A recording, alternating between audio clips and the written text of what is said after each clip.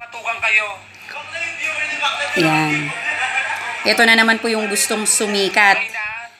Namutang ina na na magpapak pa lang ng relief. Hoy, hoy bakla, baklang pangit. Ito rin ang banat ko sa'yo. Huwag ka nang mag-volunteer na mag-repack ng relief. Kung magsasabi ka rin lang ng mga masasamang salita, putang ina ka rin. Pakyo ka rin, umalis ka dyan. Watch out mga bitches! You're bitch! You're the bitch! Mga gago kayo. Dapat kayo ang hindi mabigyan ng relief. Huwag na kayong mag Huwag na kayong mag-volunteer na mag-repack kung gan- maggaganyan din lang kayo. Kung mamimigay din lang kayo ng relief.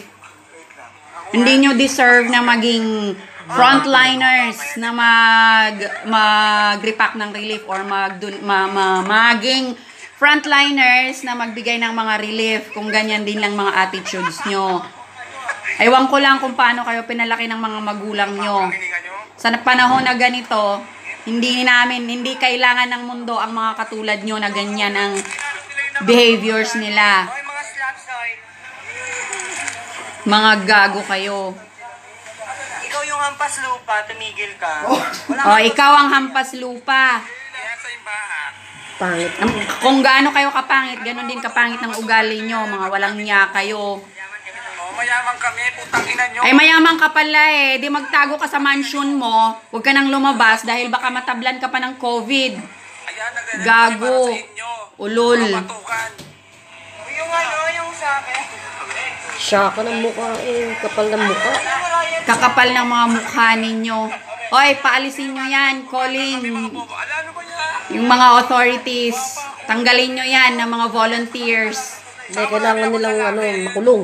O kaya makulong para magkaroon sila ng lesson. Lesson learned. Ayan. Araw ng manners. Wala kayong manners. Yeah. Ayan. Kayong mga bata kayo, kayong mga kaninong anak kayo, ano? Hindi nyo, hindi, hindi kayo pinalaki ng maayos ng mga magulang nyo kung ganyan din lang mga attitudes nyo. Mga adik siguro yan. Baka adik kayo.